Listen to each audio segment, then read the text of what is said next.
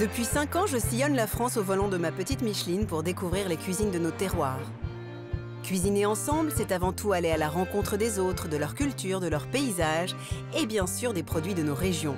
Après autant de kilomètres, je reste persuadée que bien manger est le lien le plus naturel et le plus universel entre les hommes, même si l'on constate d'une maison à l'autre qu'il n'existe jamais deux versions identiques de nos plats les plus populaires.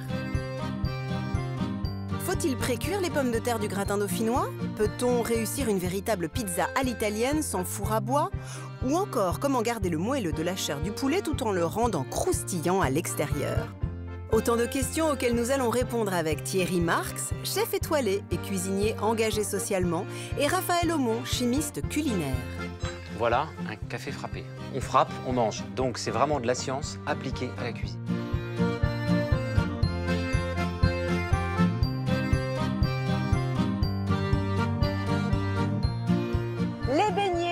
Les chouchous, ça vous rappelle quelque chose?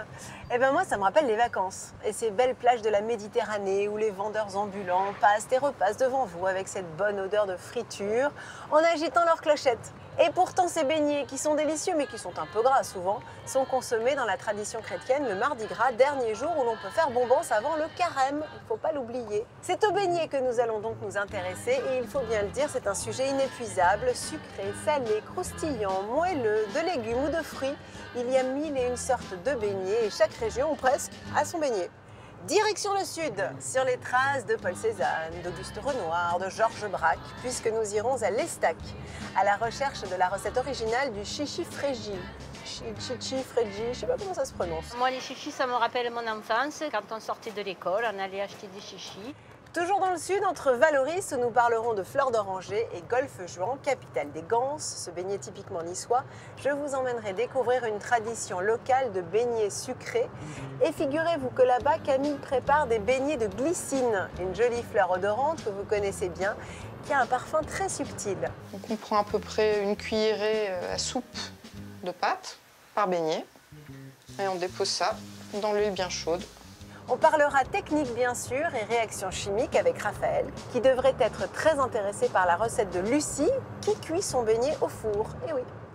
On a juste à enfourner euh, les beignets pendant une vingtaine de minutes. Retour ensuite dans les Hauts-de-France, en Picardie, pour le beignet d'Amiens. Alors là, c'est un peu plus riche puisqu'à la pâte, on ajoute du fromage frais de chèvre et de la moelle de bœuf. Accrochez vos ceintures. En fait, la moelle apporte des qualités nutritives et euh, en même temps de la légèreté. Allez, direction la cuisine, il est temps de mettre l'huile à chauffer.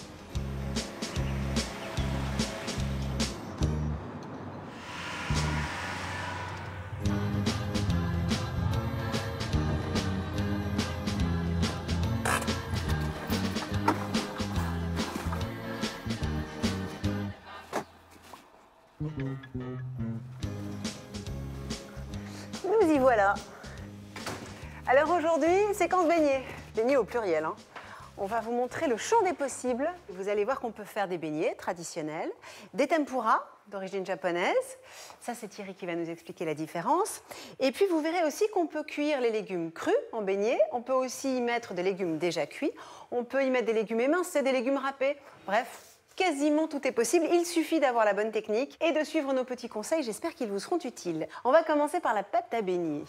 Alors moi je reste assez franco-française, Thierry euh, se concentrera sans doute sur la tempura.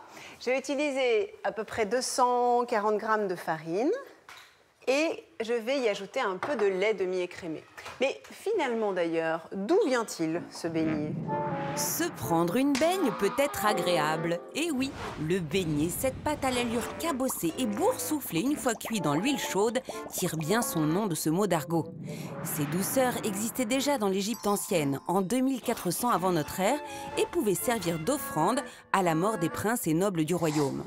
En Europe, c'est Apicius, un notable et gourmet romain, qui en parle le premier, au 1er siècle, d'après l'ouvrage des Recoquinari ou l'art culinaire. Il s'agit alors de morceaux de pâte frits et recouverts de sauce au miel, confectionnés pour célébrer les calendes de Mars, l'équivalent du premier jour de l'an pour les Romains. Plus tard, les chrétiens reprennent ce rite gourmand à leur compte et en font la pâtisserie du Mardi Gras, l'occasion de manger très riche avant de faire le carême et de jeûner pendant 40 jours. Au fil du temps, les beignets peuvent être parfumés, avec ou sans levure, craquants ou briochés, nature ou fourrés de confiture, ou encore de crème pâtissière et même salée. En France, chaque région en fait son emblème, avec les bugnes lyonnaises, les merveilles bordelaises, les pédenones champenoises, les oreillettes du Languedoc ou encore les acras antillais. Qu'on se le dise, à chaque région son beignet. Bah, finalement, on voit que le beignet s'est répandu dans le monde entier. Chacun a sa version, et en France aussi d'ailleurs. Chaque région a son beignet. Ouais les gars, j'arrive. Salut Julie. les garçons. Bonjour Thierry. Ça va Salut Raphaël, ouais. Alors, est-ce que vous avez été inspiré par le sujet du beignet? Ouais. Ah, plein de choses à dire sur la pâte, Beigne, pourquoi ça beignet. l'est, ça se gorge d'huile non plus, il faut faire plein de, plein de belles oui. précautions. Ouais. Alors là, je vais préparer une pâte à beignets plutôt traditionnelle. Euh, J'ai mis 240 grammes de farine. Euh, Raphaël, je me suis demandé quel type de farine je devais utiliser. Plus ou moins 45, fine 55, ça va, ouais. Donc 45-55, ça tombe bien, c'est ce que j'avais.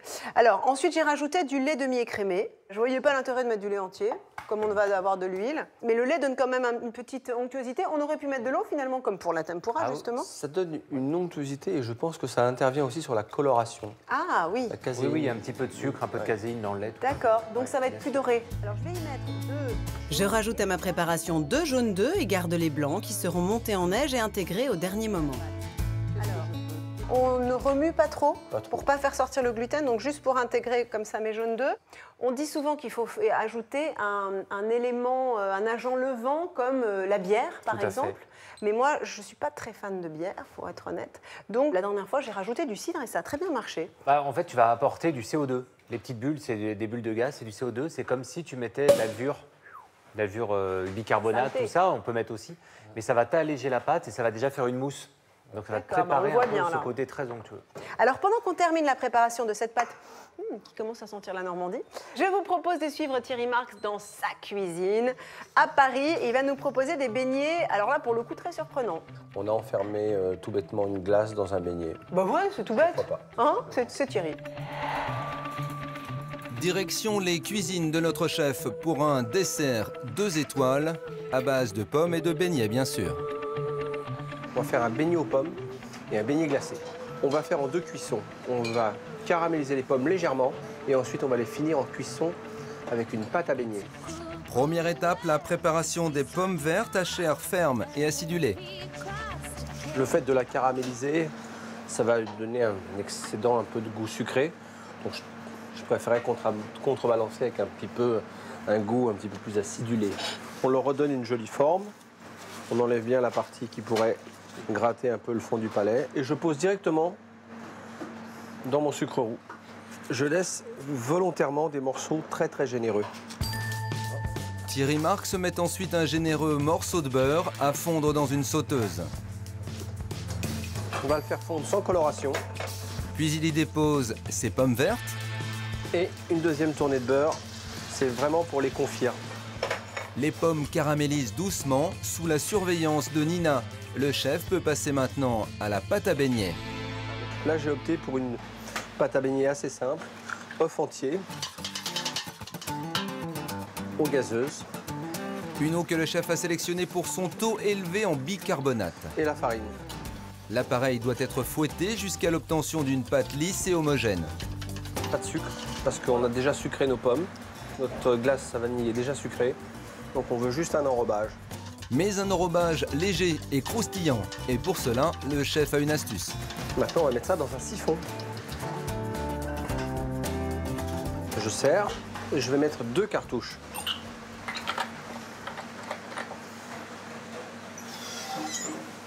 Voilà. L'appareil est réservé dans le siphon le temps de finir la caramélisation des pommes. Surtout important que le beurre ne brûle pas. On va caraméliser nos pommes, quasiment les confire, mais on ne va pas les cuire jusqu'au bout. Elles se finiront dans le beignet. Vous voyez, la pomme, elle commence à se souffler. C'est le signal pour la débarrasser sur une plaque huilée. Juste avant de passer à la cuisson, le chef finalise sa pâte à beignet en vidant le contenu du siphon dans un cul de poule. Vous voyez, elle est très, très, très aérée, comme si j'avais monté des blancs d'œufs. Thierry Marx n'a plus qu'à y tremper rapidement les quartiers de pommes. Le caramel se mélange à la pâte à beignet. Et l'ensemble est plongé dans l'huile de friture. Aux beignets de pommes succèdent les beignets de boules de glace. C'est la quatrième étape de sa recette, réalisée selon le même principe. Notre chef récupère ses quenelles de glace conservées à l'azote, les enrobe de pâte à beignets et les fait frire. On y va.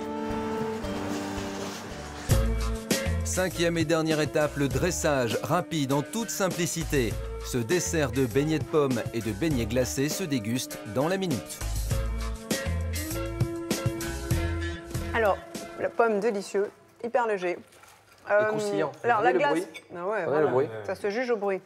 La glace, euh, on est bien d'accord, on peut pas le faire à la maison. Avec un congélateur, un lambda. Mais complètement. Ah bon? Il suffit de mettre les boules de glace au congélateur la veille pour le lendemain. C'est vrai Bien, bien froid. hein. Bien, bien froid. Il Voilà. faut, faut mettre le super frost. C'est ça. Alors, euh, ça se mange euh, à la fourchette ou à la, à la mano? Alors voilà, à la mano ou à la fourchette. Alors, ça. là, la mienne, ce La que j'ai attendu un peu Oh pour manger. Non, mais- regarde, moi j'ai de la glace là. Ah ouais, mais, ah oui, moi aussi. Ça Moi aussi. Oh, mais ça, Mais il y c'est a la glace à c'est l'intérieur. ultra euh, gourmand. Ah, c'est génial.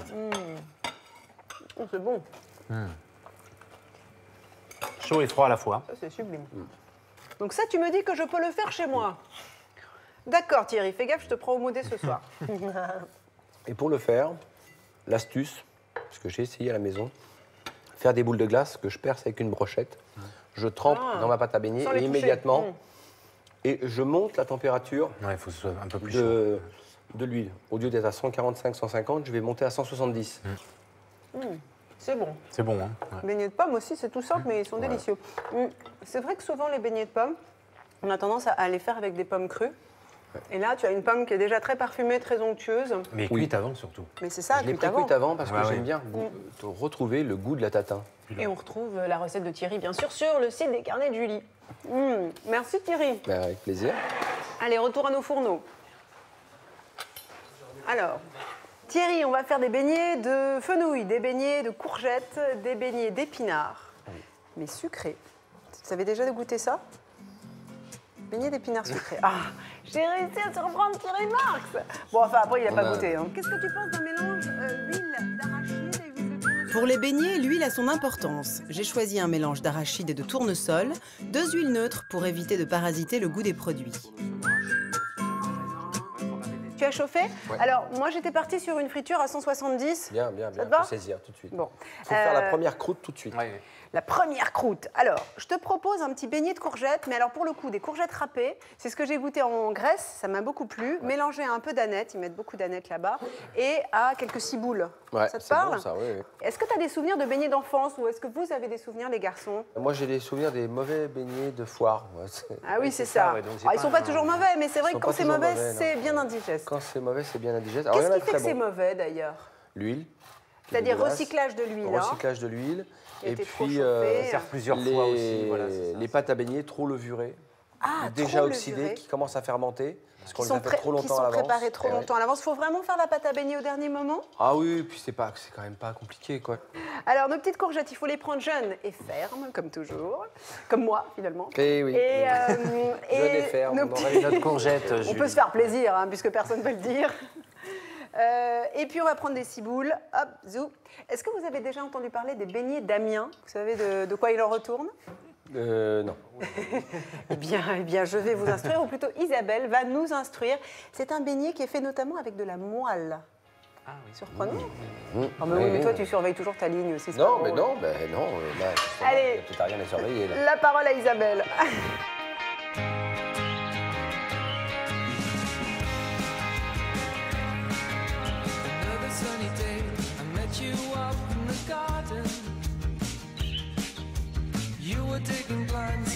Pour cette nouvelle recette, cap sur le nord, à 20 km au sud d'Amiens, à Poix de Picardie. Isabelle Vermès nous a donné rendez-vous dans le camping municipal qu'elle gère. Mais c'est en tant que membre de l'association Picardie Secret qu'elle s'apprête à nous cuisiner une spécialité régionale, quasiment oubliée. La recette des beignets d'Amiens, qu'on appelle également les pédales. Et donc, euh, pour cette recette, bah, il nous faut euh, des ingrédients assez surprenants. Je vais mélanger à la farine donc le sucre, une pincée de sel et un sachet de levure. Donc là, on va ajouter les jaunes d'œufs. Comptez deux jaunes d'œufs et un ingrédient effectivement surprenant, de la moelle de bœuf émiettée. En fait, la moelle apporte des, des qualités nutritives et euh, en même temps de la légèreté et du gras au plat. On ne sait pas exactement d'où vient cette recette. Tout ce qu'on sait, c'est que les Picards, euh, quand euh, ils revenaient euh, de- des champs, il, fallait, il leur fallait un repas bien complet. Pour un repas complet, c'est complet. Isabelle ajoute le zeste d'un citron jaune et 100 g de fromage de chèvre frais écrasé à la fourchette. Et comme les Picards ne font rien à moitié, c'est du vin et non du lait ou de l'eau qui est utilisé pour délayer la pâte. C'est un, un vin blanc demi-sec. Donc là, on a une pâte qui est pas trop liquide. On la laisse reposer le temps qu'on monte les blancs en neige. Isabelle incorpore les blancs en neige comme le lui a appris sa grand-mère. C'est une recette qu'on avait l'habitude euh, de faire avec ma grand-mère quand euh, j'étais enfant. Ça évoque euh, de bons souvenirs d'enfance. Pour finir ses beignets, Isabelle fait fondre du saindoux. C'est la tradition, ça se faisait plus au saindoux qu'à l'huile. Et puis, euh, bah, je trouve que ça rend les beignets plus, plus dorés et moins gras. Enfin, moi, je les trouve meilleurs comme ça. Le bain est arrivé à température, à savoir 180 degrés. Notre hôte peut former ses beignets. Alors en fait, je m'amuse avec deux petites cuillères et je plonge directement. Traditionnellement, ils étaient ronds. Mais en fait, nous, on a toujours appris à les faire euh, comme ça, euh, au feeling. Et pour la cuisson, c'est à son œil qu'elle se fie. Dès qu'ils commencent à colorer, elle les retourne. Donc la cuisson doit être rapide. On les égoutte bien. Oui, on voit quand même que c'est bien gras. hein. Tous les beignets sont prêts. La dernière étape, hein, c'est la plus facile en fait. On roule nos petits beignets et on les saupoudre de sucre glace. Et plus il y a de sucre glace, meilleur c'est. Alors moi, ce que j'ai retenu, c'est ce que vous disiez, les garçons, c'est que plutôt que de commencer par mettre la farine lorsqu'on l'on prépare la pâte, euh, il vaut mieux commencer par les liquides. Oui. œufs et lait. Toujours commencer par les Les gens me disent j'ai des grumeaux dans ma pâte, ils comprennent pas pourquoi. Mais ils commencent par la farine et ils mettent les ingrédients Ouais, dedans c'est ce et que ils j'ai fait aussi. Le liquide, le liquide Ça vient tout de suite s'enrober de farine et ça va faire une coque. Et là, après, c'est impossible à séparer. en fait. Alors donc, aux courgettes, aux cébettes, je vais ajouter un petit peu d'aneth. Ça rime tout ça Ouais. Et c'est un mélange qui fonctionne bien, je trouve. Alors, j'ai besoin de toi, Raphaël. Oui. Euh, habituellement, les beignets en France, en tout cas, sont faits à base de levure, levure chimique, bien sûr. On pourrait la faire avec de la levure de boulanger, mais ce serait plus long. Euh, mais moi, j'ai trouvé qu'ils étaient plus légers avec du bicarbonate, que, l'on trouve partout, hein, qui est Ah vraiment bah oui, un produit ménager. Bien sûr. Pourquoi? Alors le bicarbonate, euh, bah, je peux te montrer même juste dans un tube comme ça rapidement. Ça va réagir avec la chaleur ou avec un peu, un peu d'eau dans ta Ouais. pâte, mais ça va faire une mousse instantanée. Alors regarde bien, Ouais, montre-moi. ça te forme des Ah grosses oui, bulles. incroyable. Donc quand tu vas chauffer, tu vas créer des grosses grosses bulles et donc tu vas avoir une pâte à beignet qui va être saisie et très très mousseuse, très onctueuse. Bienvenue à l'héliport de Paris. Ah, il est en pleine forme. Et à la batterie, Thierry Marx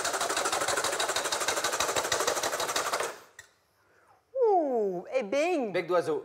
Ah, bravo, il y a du métier. Moi, je dis bravo. Non, vraiment respect, là. Donc, j'ai compris qu'il fallait rajouter au dernier moment. Tu vas nous expliquer pourquoi. Oui, tout à fait. La cuillère à café de bicarbonate. En plus, l'avantage, c'est que ça coûte rien, le bicarbonate. Je tourne. Hop, voilà, le geste à la, à la- à la Thierry, voilà. Ton huile va être chaude. Ouais, et ben Tu on vois, y j'ai mis va. un petit test dedans. Notre pâte à beignets bien homogène, je la mélange ensuite à mes légumes râpés. faire ça, et on y va. La viande tant qu'elle se décolle Avant de plonger tout cela dans mon mélange d'huile d'arachide et de tournesol chauffé à 170 degrés. Alors, j'ai souvent vu aussi les experts en matière de beignet arroser le beignet avec l'huile. Ouais. Donc, ça le fait souffler un peu. Mais oui, puis euh, ça homogénise la température. Il faut retourner. Voilà. Ah, déjà Là, Ils sont bien gonflés, hein C'est puissant la cuisson à l'huile. hein. Mmh. C'est une, une des cuissons les plus, les plus brutales. hein. Et là, on est bien parce qu'ils sont moelleux. Oui, oui, c'est bon. Alors, on les égoutte toujours sur du papier absorbant. hein. Ça, pour le coup, c'est pas superflu. Parce on tarde que, pas trop non plus pour les servir parce que bien euh, sûr, il faut que ce soit croustillant. c'est vraiment euh, une cuisine de l'instant. Et contrairement à ce que l'on croit, la cuisine du beignet, la cuisine de la friture, de la friteuse, c'est pas la cuisine la plus simple. hein. C'est vraiment, euh, il faut une Mmh. certaine dextérité, ouais. beaucoup d'attention. Est-ce que c'est comme les frites? Quand ça sort de l'huile, il faut les saler tout de suite? Oui, oui, oui. Alors là, c'est vraiment comme tu as beaucoup de vapeur dans ton beignet, tu as une expansion, il Ouais. gonfle, et dès que tu le sors, il va vouloir absorber tout ce qui traîne. Donc il va absorber l'huile. Ah, c'est pour ça qu'il faut vraiment les, les égoutter très Les rapidement. égoutter. Et là, tu peux en profiter pour mettre du sel, du sucre ou tout Et ça. sinon, après, le sel ne, va pas tard. adhérer. C'est trop tard. On va garder tout cela au chaud en attendant nos invités, le temps de revenir avec Raphaël sur cette cuisine des beignets qui offre une multitude de pâtes possibles. Alors là, j'ai mis euh, donc farine, lait, œuf. Ici, j'ai rajouté la levure chimique. Ici, j'ai monté les blancs en neige. Et là, on a mis la même préparation, mais dans un siphon. Voilà. Dis donc, c'est une chantilly. Ah oui Donc on peut mettre... Donc là, euh, ni blanc d'œuf, de la farine, des œufs et Alors du là, on, va, on voit que ça va faire une pâte beaucoup plus Ah bah oui. élastique. hein. Mhm. Ouais. Alors là, levure. Beaucoup plus soufflée. Ah oui, elle Là, remonte tout de suite. Ça gonfle beaucoup plus. Raphaël fait frire ensuite sa pâte montée au blanc d'œuf et ensuite celle passée au siphon. Là, on voit très, très clairement la différence. hein. Lui, il est, il est tout, tout dur. Lui, il gonfle bien. Là, ça fait vraiment une mousse Ah ouais, qui absolument. ferme, mais moelleuse. Et, Et là, ça c'est fait vraiment une belle le- quenelle, totalement mousse. rien. Il y a beaucoup plus d'air à l'intérieur, quoi, Tout finalement. à fait. Et, oui. Et puis, il y a quelque chose qui Mais est, est-ce que c'est- intéressant. Alors, tu vois, les, les C'est colorations la- n'est pas la même. C'est l'aspérité. Il n'y a Ouais. pas de... C'est lisse. C'est lisse, ouais. C'est Moi, j'aime lisse. beaucoup. Euh, entre nous, euh, seule euh, la levure chimique, elle est bonne, mais c'est vrai qu'elle est un peu. Ah bah oui, oui, bien Ben sûr. et ça faisait une garniture en cuisine ou en pâtisserie qu'on appelle le pennon. Ben oui, on va en voir d'ailleurs tout à l'heure des pétnones. Alors, on la goûte, ta pâte au siphon Oui. Ah, regarde cette texture, Alors. c'est gourmand. Un bon compromis, et c'est ce que tu as utilisé dans ta recette, c'est d'utiliser à la fois un peu de levure chimique, qui va permettre de faire gonfler, Ou de et bicarbonate. un peu de blanc d'œuf, qui allège quand même la pâte, et qui te permet de ne pas mettre trop de levure. Effectivement, c'est nettement plus aérien. Voilà. Et ça se conserve plus Aérien, longtemps. ouais. On repart dans la gourmandise avec Guillemette qui va nous faire les fameux pédenones que tu Ah, évoquais tout à l'heure. Très très bien.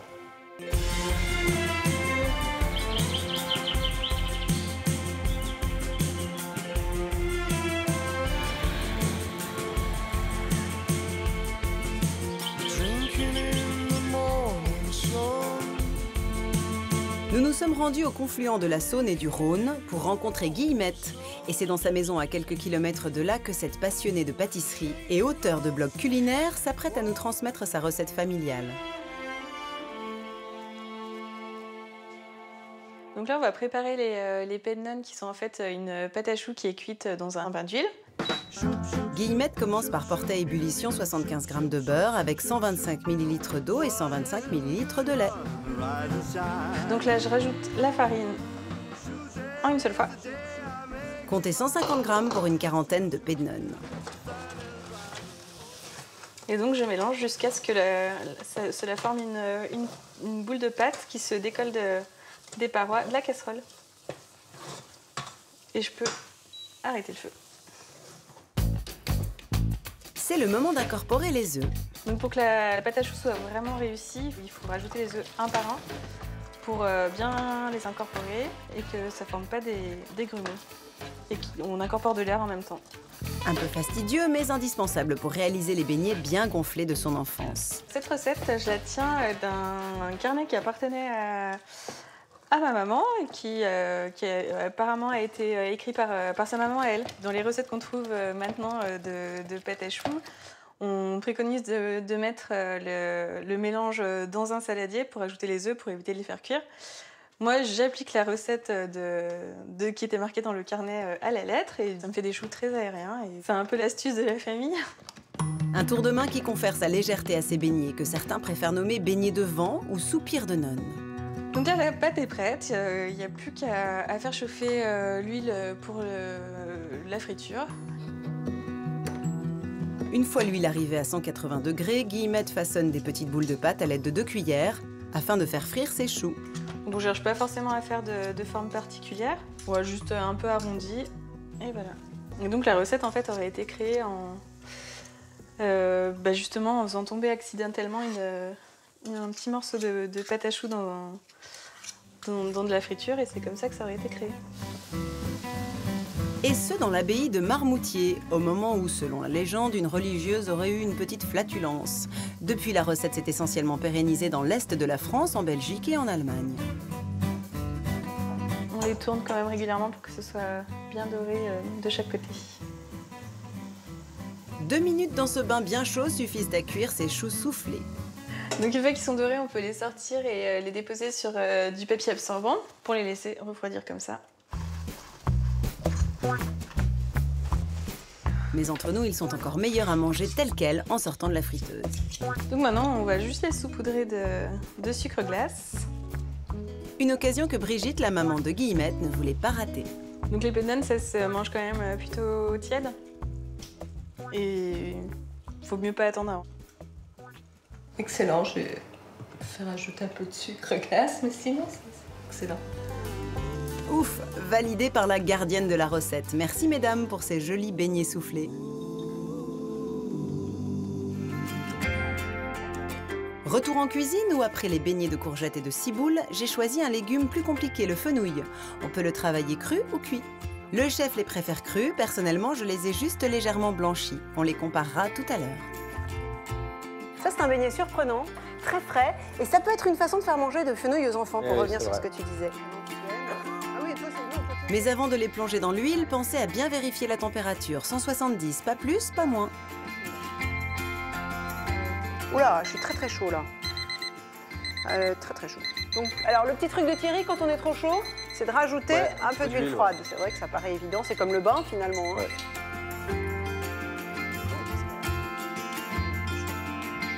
Alors, on va y plonger nos petits fenouils. Oh là là, ce que c'est joli On les retourne. Pour les temps de cuisson, on peut dire qu'il n'y a pas de... Non, c'est l'œil. C'est vraiment l'œil, hein Blond, C'est l'œil qui fait loi. Blond, c'est cuit. Alors là, on retire. Là, on retire. Allez, on retire.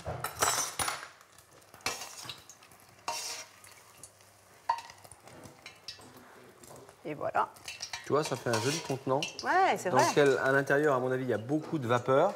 Mhm. Continue à, à avoir une incidence sur la cuisson de ton beignet. Sûrement, c'est vrai. Tu as enfermé les arômes.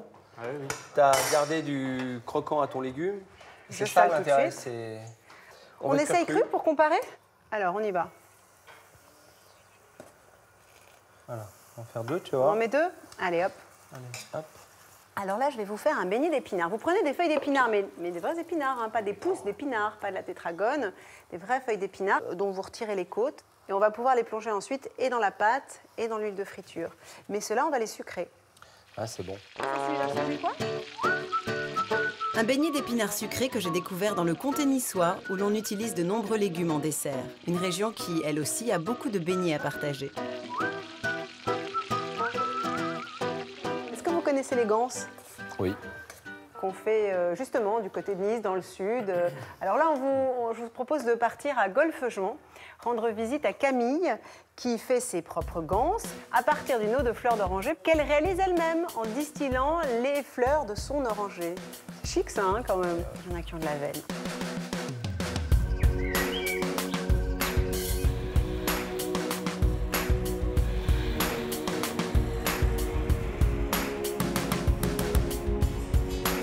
Avec Micheline, nous mettons le cap sur le sud de la France et plus précisément sur la petite ville de Valoris. Ici, la culture de la fleur d'oranger est un véritable patrimoine local. Certaines familles la pratiquent depuis plus de 150 ans. Camille, justement, possède des bigaradiers dans son jardin, ces arbres desquels provient la fleur d'oranger, et qui produisent des oranges amères. Et au mois de mai, c'est le mois de la cueillette. Là, on fait la fleur. On cueille les fleurs d'oranger, mais on appelle ça faire la fleur ici. Donc on cueille les fleurs des orangers amères dès qu'elles sont écloses. Il faut surtout pas de boutons, il faut des fleurs ouvertes.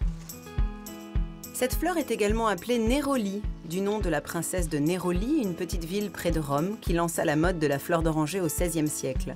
Une tendance perpétuée dans le sud de la France encore aujourd'hui.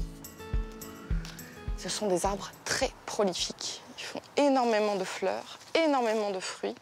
Et on a beau enlever les fleurs, les fruits arrivent toujours. Et ce sont ces fleurs qui, une fois transformées, vont donner l'eau de fleurs d'oranger et des huiles essentielles. Pour cela, il faut apporter son butin à la seule coopérative agricole qui distille en France ces précieuses fleurs.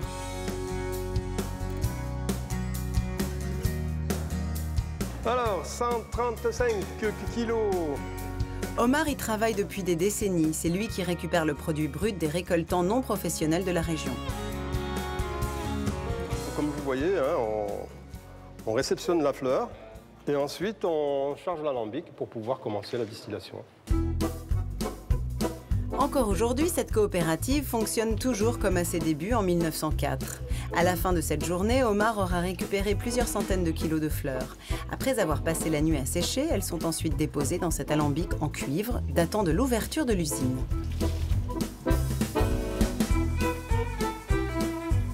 Pour ce poids total de 1000 kg de fleurs distillées, je peux obtenir 1 kg d'huile essentielle.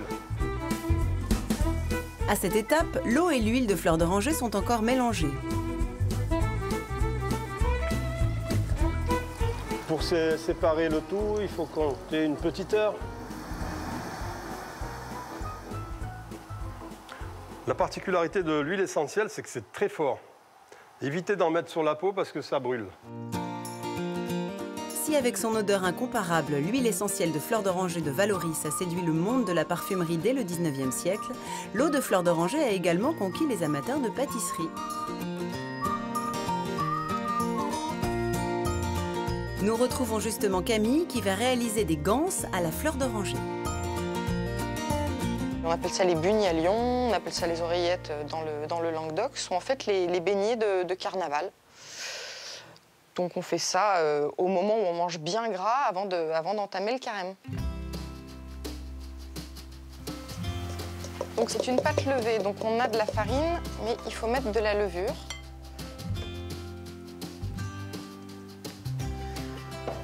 Un petit peu de sucre, une pincée de sel. Elle rajoute deux œufs et mélange. Je vais ajouter de, de l'eau de fleur d'oranger. Alors ça, c'est l'eau de, des fleurs d'oranger du jardin. Cette eau de fleur d'oranger-là, elle est très, très concentrée. La pâte va reposer 30 minutes. Ensuite, Camille va l'étaler au rouleau à pâtisserie. Pour euh, l'épaisseur de la pâte, ça dépend de ce que vous aimez. Si vous aimez des ganses plus briochées, 3 mm, c'est bien, 3 mm d'épaisseur. Si vous les aimez un peu plus croustillantes, 2 mm d'épaisseur, c'est l'idéal. Donc là, on est pas mal, je pense. On va pouvoir sortir l'outil indispensable pour les ganses, la roulette. Je fais des, rectangles de pâte, comme ça, à peu près. Ensuite, le façonnage, ce qui fait toute la spécificité de la ganse, c'est qu'on va, je vais faire là une petite entaille au milieu. Je vais prendre le morceau de pâte et le passer dans le trou. La pâte fin prête, Camille fait frire les ganses quelques minutes dans l'huile bien chaude.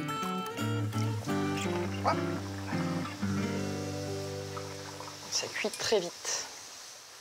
Dès que c'est doré des deux côtés, c'est prêt.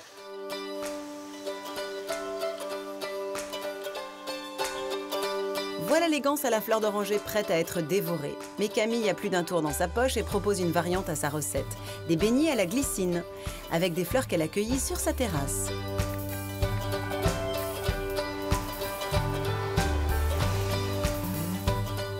Sa pâte à beignets, elle mélange farine, sucre, œufs, lait et à la différence des ganses, il faut une pâte bien lisse dans laquelle elle jette ses fleurs. Pour avoir des, bons beignets de, glycine, ce qui est important déjà, c'est de cueillir la fleur au bon moment. Il faut qu'elle soit euh, très odorante. Il faut qu'elle soit bien fraîche. Il faut en mettre le plus possible parce que sinon on a beaucoup de pâte et pas beaucoup de fleurs et on perd un peu l'intérêt de la recette. Pour la cuisson comme pour les ganses, il faut un bref temps de friture. Donc on prend à peu près une cuillerée euh, à soupe de pâte par beignet. Et on dépose ça dans l'huile bien chaude. Dernier détail, Camille saupoudre de sucre glace.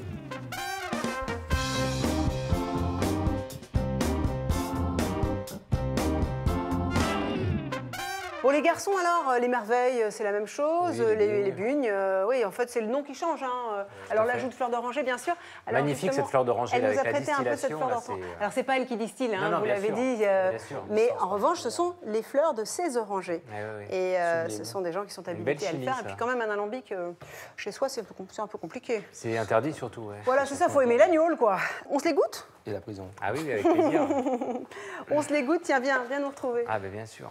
Avec Alors. Euh, tiens, regarde. Là, c'est oui. le fenouil cuit. Cuit. Alors, évidemment, il est, un, il est un peu plus ancien que les autres. C'est le premier qu'on a fait. Ça, c'est le cru. Oui, tu peux. Tu le veux Ah Non, bah, tu as goûté Je vais goûter. Là, Ah, il est cru. je, je vais goûter. Ah oui. On sent que ça croque. Moi, je préfère le cuit. Ah non, pas moi. Pas moi parce qu'il est, Débrouillez-vous avec il ça. est compoté. Mais en fait, ce que j'aime bien dans le cuit, c'est qu'on en met plus. Et donc, on a vraiment le côté, euh, on croque dans, Oui. un, dans Ouais, un légume. dans un légume. Et ça, c'est vrai que c'est bon, mais tu as plus de pâtes pour moins de, Ou de j'ai légumes. fait mais- Mais, mais en fait, Ouais. c'est vraiment deux produits différents. Alors, je voudrais que vous goûtiez Ah oui, ces beignets d'épinards sucrés. Ah, ça, Alors, j'ai mis euh, de la cassonade, un peu de cannelle et un petit peu de sucre glace, mais tu vois, je l'ai mis trop tôt. Ouais. Et on le On voit. peut le ne ouais. Je voudrais pas trop les sucrer non plus. Mais euh, allez, je vous laisse goûter, vous me direz ce que vous en pensez. Vous allez voir, a priori, Hum, oui, c'est bon. bon. on peut pas deviner que c'est un épinard. Non, non. Ça, c'est la bonne astuce pour faire manger des épinards aux enfants, là. Exactement. Bon, évidemment, c'est vert, hein, ça on peut pas leur cacher. Moi, j'adore ça. C'est C'est bon, comme un sandwich de- d'épinards. Ouais, Mhm. non, c'est très bon. Ouais, Franchement, très c'est bien. très bon. Bon, bah voilà, J'ai on trois beignets en 10 La minutes. petite pointe de cannelle. Ouais. On essaiera à la maison. Bon, bah, pendant qu'on se prépare un peu pour nos tempura, euh, l'acte 2 du beignet, je vous propose de partir pour Marseille, l'Estac exactement, pour aller goûter les chichis, chichis frégis de Michel. Chichi frais. Et n'attendez pas la recette, elle est secrète. À Marseille, soleil, bois ton pastis et chante. Ces refrains de Notre tour de France des beignets nous emmène à Marseille désormais, au cœur du 16e arrondissement de la ville, dans le vieux quartier au charme tranquille de l'Estac. C'est sur la promenade de la plage que se trouve la cabane des chichis de Magali, une institution dans la ville depuis plus de 80 ans, et où m'attend Michel, l'un des derniers fabricants et vendeurs de beignets. Marseille. Alors chichi, l'origine du mot, c'est il y en a qui disent que ça vient de l'italien cece, puisque les premiers qui ont fait les chichis frégis et ça, ce sont les Italiens, et que cece, ça veut dire pois chiche en italien, et d'autres qui disent que ça vient du mot chichi euh, en provençal, qui veut dire les petits oiseaux.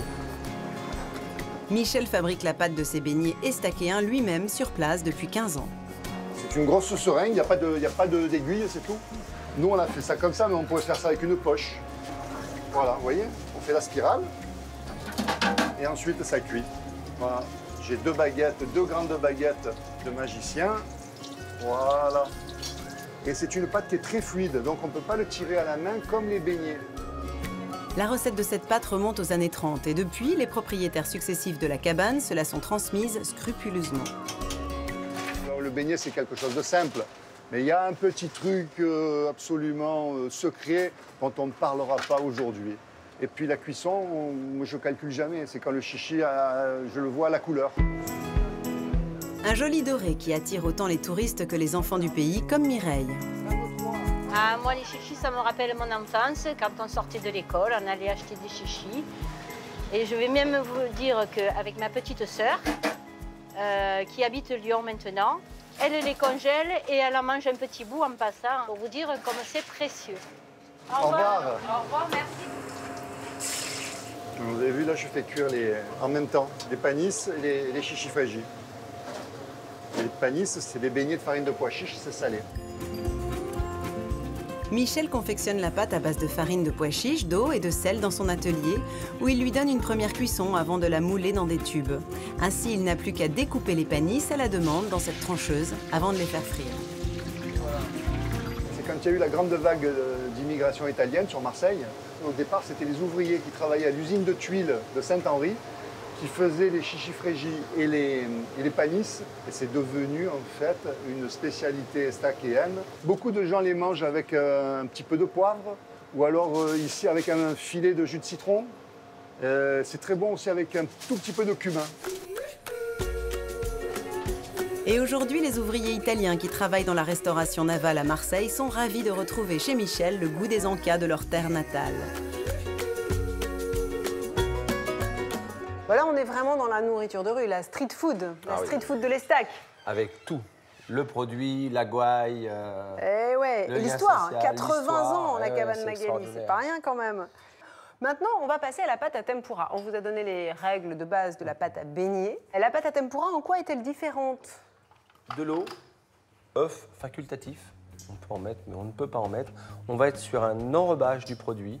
Moi, je mets toujours un œuf quand même, parce que je veux quand même accentuer un petit peu ma coloration. Et surtout, surtout, surtout de l'eau glacée. Et très, très, très peu de pâte faite à l'avance.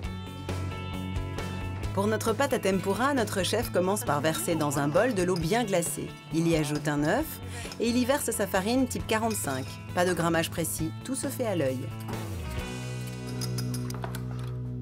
Chercher une texture Alors, une texture de quoi? De pâte à crêpes, justement de pâte à crêpes. Là, tu vois, je suis quasiment bien. D'accord. On pourrait faire ces tempura avec quoi? Avec des calamars Avec des Calamar crevettes? tapé, un petit peu émincé, crevettes, langoustines, tous les légumes qui vous passent Et bien par sûr la des tête. légumes, j'allais le dire. Il oui. n'y a, il y a aucun souci. On garde toujours sa pâte sur les glaçons, toujours que ce soit bien froid. C'est la clé.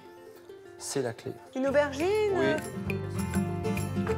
Thierry va nous faire des tempuras de filet de sol et moi j'en profite pour tailler une belle aubergine tigrée. Est-ce que la cuisson est plus rapide Non, c'est pareil. C'est beaucoup plus rapide et surtout on va maintenir le légume avec une certaine fermeté. On va ne pas être dans l'ultra cuisson, mais justement pour retrouver le croustillant et la saveur. Alors si vous aimez la tempura plus colorée, on va rajouter un tout petit peu de jaune d'œuf battu. Un jaune d'œuf de plus, quoi. Voilà. Et Un œuf entier plus un jaune. Alors, il y a autant, comme je le disais, de vais de tempura que de chefs tempura. euh, Ah oui, différentes couleurs. Ah oui, oui, non, c'est. euh, Ça varie, euh, Chacun a son secret de. Je te mets un peu d'aubergine? Voilà, pas plus, voilà. Pas plus? Est-ce que l'huile diffère? Parce que moi j'ai le souvenir d'avoir vu des chefs tempura au Japon mettre un tout petit peu d'huile de sésame. Alors, voilà, ça, après, ça devient des auteurs. Ouais. Donc, Ouais. un, il va rajouter du sésame, l'autre un peu d'huile de sureau, l'autre autre chose, une fleur, euh, une fleur d'ail, euh, un chiseau. euh, Pour parfumer l'huile. Exactement. Tu vois là, l'eau est en train de pousser la pâte et on est en train de souffler. Oui, c'est pour ça qu'il n'y a pas besoin de levure. C'est comme c'est coupé très fin, c'est l'eau du légume qui s'en va, qui va se vaporiser et ça fait souffler. C'est l'effet directement de la l'eau pâte. du légume qui voilà, tandis que Dans un s'évacue, beignet, qui va comme il y a plus d'épaisseur, là on a besoin de blanc d'œuf et de levure. Je comprends. Oh, comme c'est joli. Alors les garçons, on a vu euh, la variété des possibles en matière de beignets, mais saviez-vous que l'on pouvait faire un beignet au four? Ah, Est-ce que ça frit vraiment au four? Eh ben c'est Lucie qui va nous le dire et surtout nous le montrer.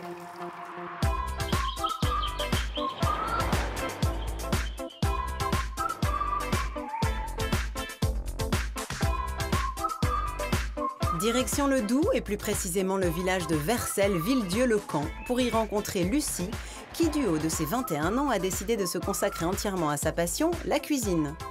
Auteur d'un blog, elle ne cesse de tester et de faire évoluer ses recettes avec comme mot d'ordre réaliser une cuisine saine, sans produits industriels ni raffinés. Pour la réalisation de ses beignets, Lucie a opté pour quelques partis pris inhabituels. Des beignets fourrés au chocolat, mais des beignets sans friture. Une façon radicale d'alléger la teneur en matière grasse. La première étape, c'est de faire euh, gonfler la levure dans le lait. Donc le lait est tiède, surtout pas chaud, sinon ça va tuer la levure. Voilà, et quand on l'a bien diluée, on va la recouvrir d'un torchon pour la faire gonfler environ 15 minutes. Au bout de 15 minutes, tout consiste en un savant assemblage d'une ribambelle d'ingrédients. On va commencer par mettre en premier le sel, car je vais le recouvrir de tous les autres ingrédients. Si le sel euh, rencontre la levure, la pâte ne va pas gonfler euh, pendant la, la pousse. Puis la compote de pommes, environ 20 grammes, qui apporte le sucre naturel du fruit. L'huile de coco, on a 15 grammes. L'avantage, c'est qu'on n'aura pas euh, 200 grammes de beurre euh, dans la recette. Ça remplace euh, les matières grasses. Autour du miel, 40 grammes, de l'œuf, de la farine type 55, 290 grammes, et enfin de la levure qui a gonflé dans le lait. Et voilà, maintenant, au robot, on met à vitesse minimum pendant environ 5 minutes.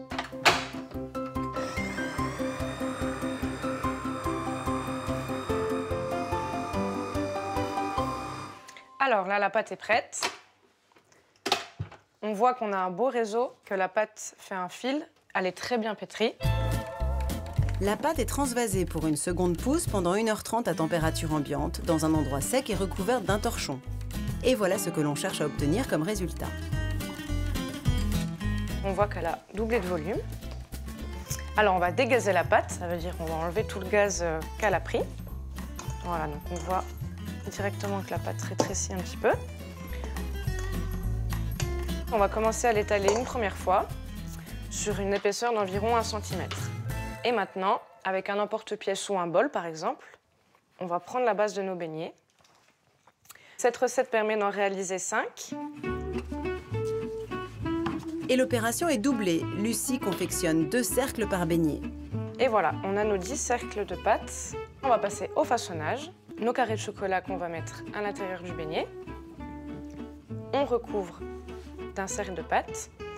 Et là, on va faire comme avec des raviolis par exemple. Pour bien souder la pâte, on retourne. Et là, on va former nos beignets pour bien souder la pâte en dessous. Et voilà, on a un beignet qui est prêt, qui va pousser pendant 30 minutes et ensuite partir au four. Arrive donc le moment crucial dans un four préchauffé à 190 degrés, chaleur tournante. On a juste à enfourner euh, les beignets pendant une vingtaine de minutes.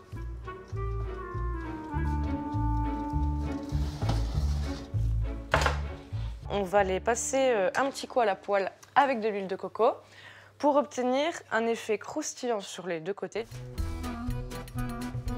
Et on va les laisser environ une minute de chaque côté, le temps qu'ils dorent bien. Ça va leur donner un aspect de beignet qui sort d'un bain de friture.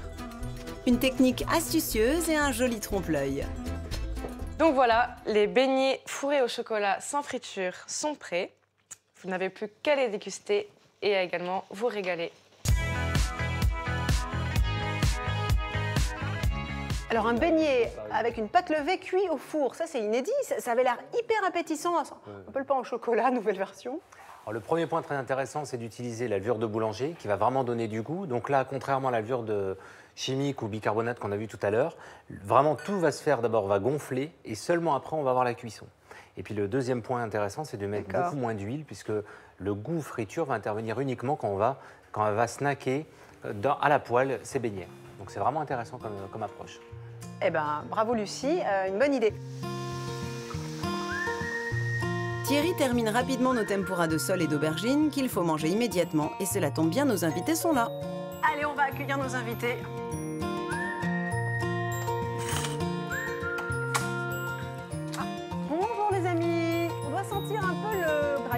Aujourd'hui, pour cette variation autour du beignet, nous recevons Michel, notre spécialiste du chichi frégi, et Camille, notre récolteuse de fleurs d'oranger, qui a vécu de très longues années à l'étranger pour travailler sur les comportements alimentaires. Allez, il est temps de passer à table avec nos tempura. Le chef est en train de finir la friture de tempura.